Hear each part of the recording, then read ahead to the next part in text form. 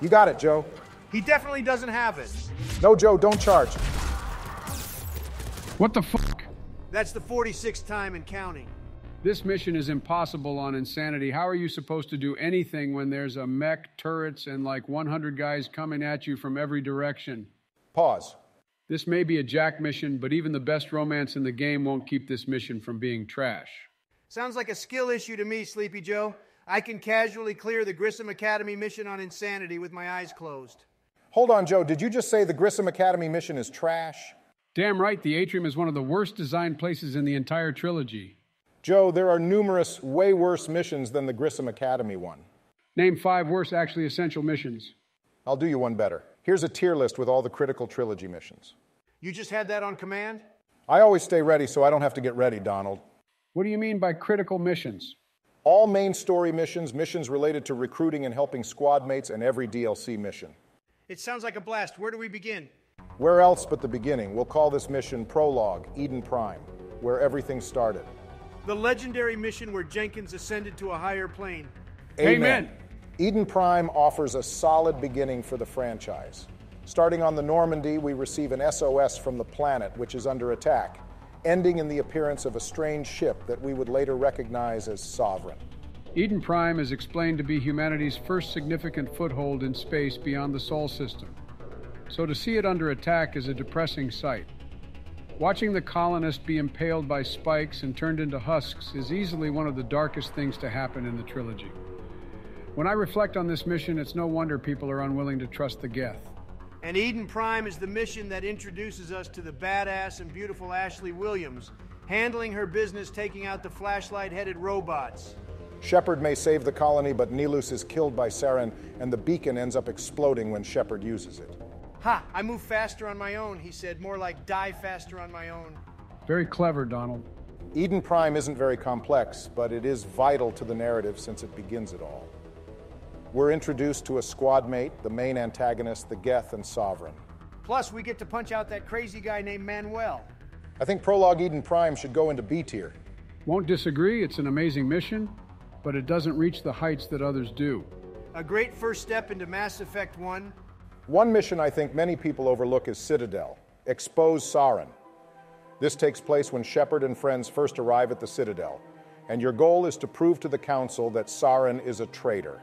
How nice of this mission to get us used to the Council blatantly not believing in Shepard. In this specific instance, the Council is justified. We came to them with no proof besides the account of the dock worker we met on Eden Prime. Expose Saren is a master class in world building and pacing. We're introduced to the Council and get to see how decisions are made on a galactic scale. And this mission gives us free rein to explore the Citadel, the game's central hub. After we fail to prove Saren's guilt, we're tasked with chasing down our leads. Barla Von will lead us to Rex, or we can go speak to Harkin, who takes us to Garrus. The fact that you can choose which of these you want to do is a highlight. Mass Effect 1 allows the player to approach the quest as they wish. You can even decide not to look for Garrus or Rex after you've recruited at least one of them and follow up on going after Fist in Chora's den. Truly an example of player freedom. Going after Fist and then saving Tali from the ambush are highly unforgettable moments. I remember thinking I wouldn't have enough time to save her and finish all of Fist's men, so I just booked it out the door. Exposing Saren ends with Tali giving us her evidence, joining the squad, and presenting the evidence to the Council. With Saren proven guilty, he's stripped of all his power, and we, as a newly crowned Spectre, are sent to go take him out no matter what. The Spectre ceremony is a top moment. Listening to the Council speak about what a Spectre is supposed to be makes me forget how useless they are going forward. This mission introduces three squad mates, including the big boy Rex himself. It has great exploration, player freedom, and good firefights, and sets us up for the adventure ahead. Exposing Saren is an S tier mission, one for the record books. It might seem a bit early to drop an S tier, but I have to agree. I feel that this is the mission that's supposed to hook you on the game. Expose Saren is a snapshot of everything you'll do in Mass Effect 1. It's an expertly designed mission.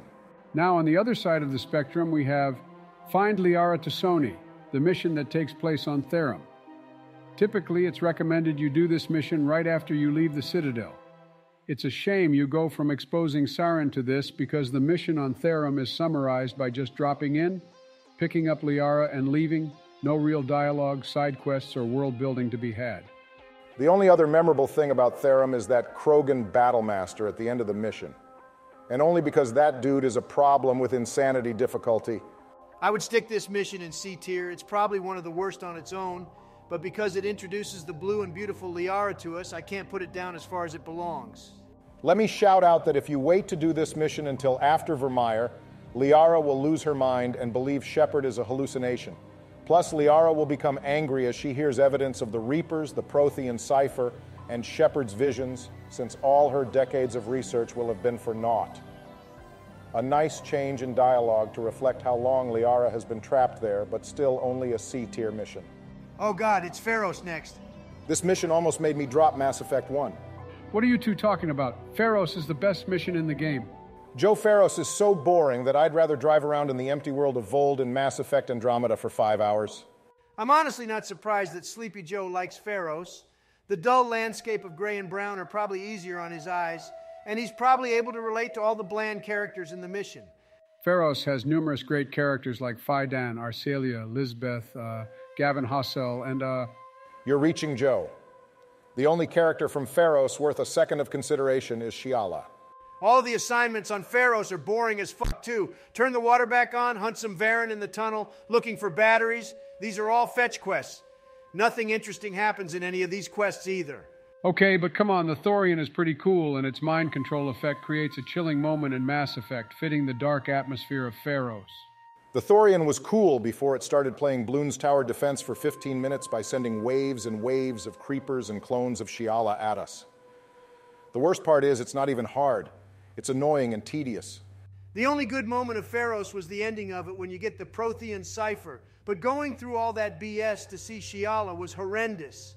What about how you can choose to kill the colonists or save them all? Except it's not a choice. Saving the colonist is objectively the right decision. Even if you only get 30 war assets from it in Mass Effect 3, it's still more than zero. This is one of the moments in Mass Effect where being renegade is a punishment because there is no substitute for the colonist's war assets. Joe, you have 10 seconds to tell us why Feros should go higher than D tier. Screw the both of you, I don't care. Place Feros and move on. That's what I thought. Now we get to Noveria. In my opinion, this is a peak mission in Mass Effect 1. Noveria has a little bit of everything and does all of it exceedingly well. The assignments in Port Hanshan are some of the best in Mass Effect 1. The various ways you can get a garage pass to head to Peak 15 alone makes Noveria a standout mission. You can help Gianna in her investigation as most normally do, give Lorik Qui'in his evidence to get his pass, or turn the evidence into Anoleis. Not only that, but you can get through Noveria even faster by accepting to smuggle for Opold and turning his package into Anoleis. Or, and this is my favorite, you can rat Gianna out to Anoleis and they'll both off each other. Of course, that would be your favorite Donald, you monster. The corporate espionage you engage in here is enough to place Noveria in B tier. But it gets better when you hit peak 15. More like bottom 15, Noveria takes a steep drop after you leave Port Hanshan. Peak 15 is just the same tunnel over and over again until you reach Benezia. True, by this point in the game, you've probably seen these same tunnels on side missions numerous times. The reuse of assets in Mass Effect 1 has not aged well. Still, the actual mission on Peak 15 is excellent, and you have different paths. You can take the more direct route to Benezia, resulting in Captain Ventralis and his men turning on you. Or you can help the people suffering from illness which will get you a pass from Dr. Cohen, giving you a straight shot to Benezia. The boss fight against Benezia is something. I have my limits. I won't let Benezia's chest distract me from how lame this so called boss fight is. They hype Benezia up as this Asari matriarch with immense wisdom and power, with a legion of Asari commandos. Benezia barely fights you. When she does, she goes down like wet paper. The Krogan warlord from Therum was harder. The last highlight is the Rachni choice. Will you slay them or save them? Both choices have their merits.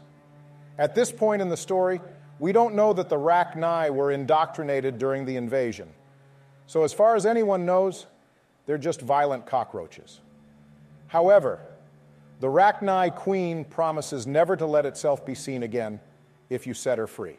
It's too bad Mass Effect 3 kind of invalidates this choice by having the Rachni be present as enemies regardless of what you pick. Overall, I think Noveria is an A tier mission. Memorable characters, great side missions, and it's vital to the story since you take out Saren's right hand. You can't go wrong with Noveria. It's the perfect final act to the first half of Mass Effect 1.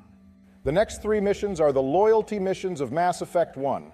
These are all pretty mid, if I'm being honest. Rex's family armor is all right. It's short and sweet and has good character building for Rex. Plus, doing this mission ensures you can keep Rex alive on Virmire. Put it in C tier. Good, and now we have Garrus's mission to deal with Dr. Saleon. Conceptually, this is a good mission.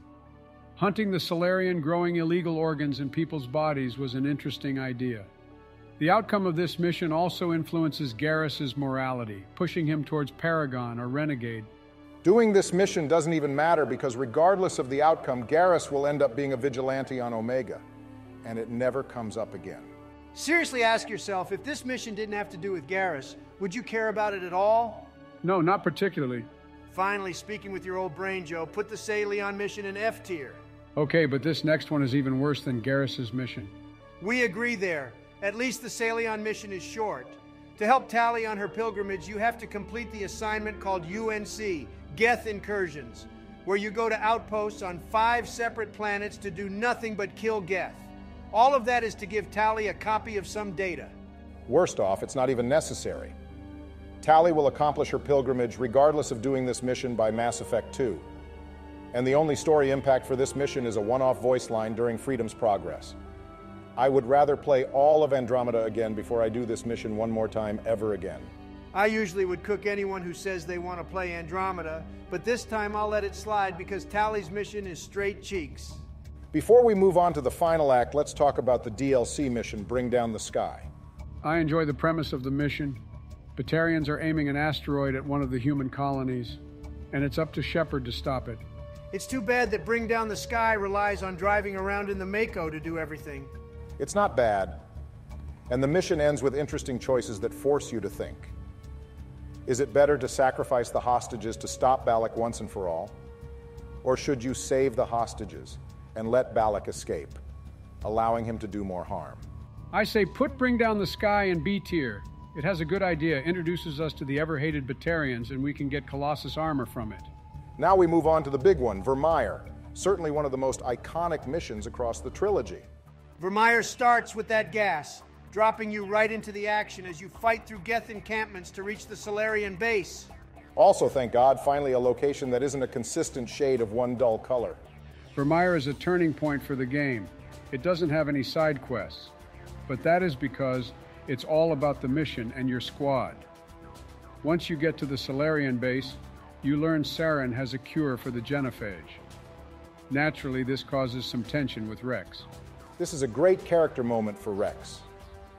He had said before he gave up on the Krogan, but with this new information, it's apparent that he still wants his people to succeed deep inside. This is a fine example of the squad mates operating like genuine individuals instead of just followers of Shepard. You have to talk Rex down, and if you fail to pass the morality check or haven't gotten Rex's family armor, you'll have no choice but to gun him down or wait until Ashley does it. This is also an excellent moment for Ashley showing that she'll never just be one to wait around as she watches the situation deteriorate. As much as I hate to see Rex die, the fact that he can makes Virmire stand out even more. Rex's death has consequences in the future, in Mass Effect 3, because his brother Wreav will be in charge, which paints curing the genophage in a different light. After this, you get the iconic Hold the Line speech from Kirrahe. You begin the operation on Virmire, which served as an early template of the suicide mission. Delegating tasks to Ashley and Kaidan and accomplishing side objectives to ensure the mission goes more smoothly for the Salarians. And we can't forget the true highlight of the mission, speaking to Sovereign. We don't even need to give our opinion on this one. We'll let Sovereign do the talking.